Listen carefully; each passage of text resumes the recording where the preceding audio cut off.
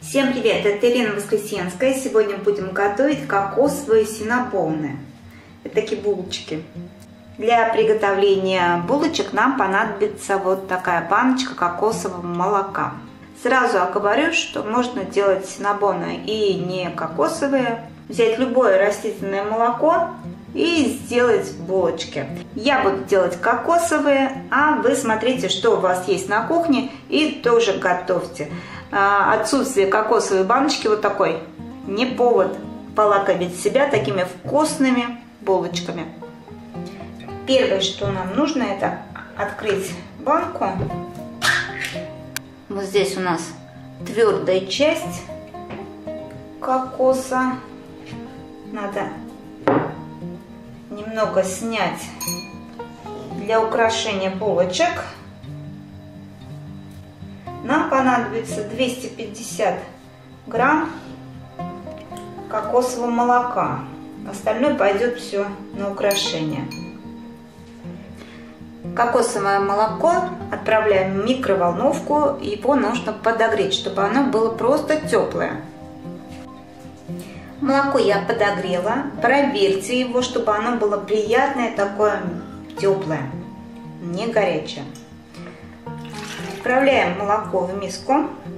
Сюда же отправляем чайную ложку сухих дрожжей, 2 столовых ложки сахара и 3 столовых ложки муки. Добавили. Теперь нужно это нам перемешать и отправить на час в теплое место. Я поставлю в духовой шкаф и включу лампочку. Ну вот, немножко размешали, а если остаются комочки, ничего страшного, все разойдется. Закрываем нашу опару и отправляем в теплое место на час. Вот так я вставлю в духовой шкаф и включаю просто лампочку. Этого достаточно, чтобы в духовке просто было тепло. Прошел час. Давайте посмотрим, что у нас здесь. Вот, посмотрите, дрожжи активировались, поднялись такой шапочкой. И сейчас нам сюда нужно просеять оставшуюся муку.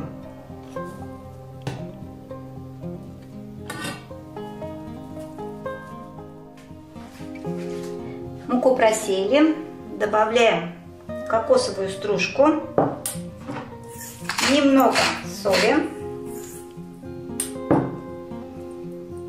растительное масло. У меня кокосовое масло, но подойдет любое растительное масло без запаха. И сейчас аккуратненько вымесим. Сначала ложкой вымесим, а потом уже рукой.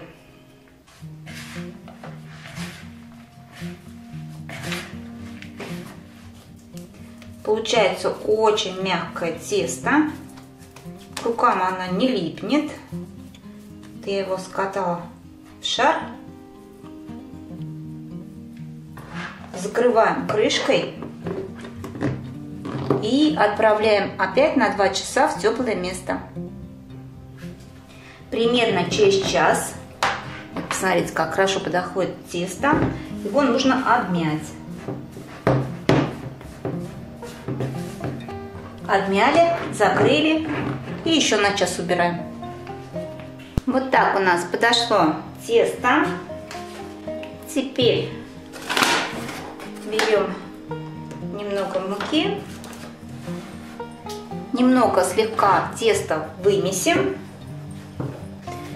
разделим тесто на две части. Одну часть я уберу и закрою крышкой, чтобы оно не сохло. Одну мы сейчас с вами вымесим и надо будет ее раскатать.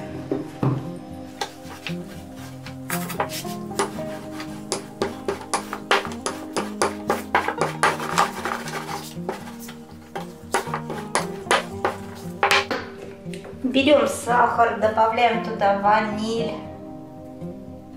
корицу, И размешаем. У нас получится ароматный сахар. И половина этой смеси мы сейчас высыпаем на тесто. И теперь аккуратненько свернем в рулет. Разрезаем на 8 частей. Так, так у нас будет 4. И каждую еще пополам разрежем. Здесь у меня форма, я смазала ее слегка растительным маслом. И сейчас булочки нужно выставить форму. Вставляем на небольшом расстоянии. И все то же самое делаем со второй частью теста. Булочки сформировали.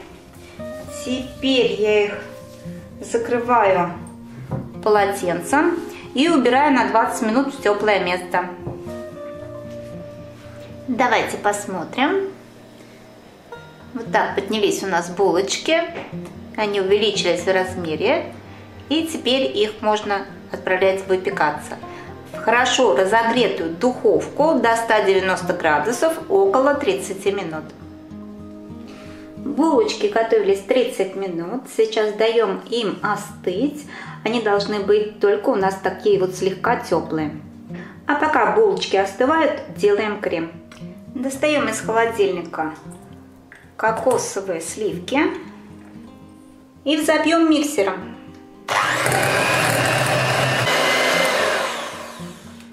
Теперь нам нужно добавить сахарную пудру. Пудру будем добавлять частями, чтобы не переслоснить. Добавляйте по вкусу. Я буду по чайной ложке добавлять и пробовать. Все, крем готов. Я добавила 3 чайных ложки сахарной пудры. Но ну, еще раз скажу, по вкусу по чайной ложке добавляйте и пробуйте. Такой красивый мягкий крем, но в то же время он хорошо держит форму, у нас получился. Булочки у нас остывают, а крем я пока отправлю в холодильник. Булочки стали теплые. И давайте их смажем нашим кремом кокосовым. Обмазывать булочки надо именно когда они еще теплые, чтобы кокос немножко подтаял и как бы проходил вниз еще. Так, ну вот, красивые наши булочки готовы. Вот такую красоту сегодня мы с вами приготовили. Очень надеюсь, что вы тоже приготовите эти вкуснейшие ароматные кокосовые булочки. Э, если у вас нет кокоса, то используйте любое растительное молоко и сверху можно просто сделать помадку. Взять сахарную пудру и немножко ее развести апельсиновым соком. И это тоже будет очень-очень вкусно. И подавайте их на завтрак с утренним кофе. С вами была Ирина Воскресенская. Кто еще не подписан, обязательно подпишитесь. Впереди много-много интересного. Всем пока-пока. Ну, слушайте, это такая вкуснятина. Я уже съела одну булку, еще себе одну положила. А, они у меня были очень теплые, поэтому крем у меня быстро растаял и прошел вниз. Они прям пропитались кремом. Но все равно нужно лучше немножечко подождать, чтобы они остылись. Я торопилась из-за съемок. Но булочки, это вообще, они очень мягкие, очень мягкие. Булка не очень сладкая получилась, так что если вы очень хотите послаще, то сахара можно побольше. Но по мне вот я сладкоежка и мне нормально, больше прибавлять не буду, потому что крем сам я сделала сладкий, и булка вся в креме, и это просто что-то. Это что-то с кофе вообще. Так что мои рекомендации –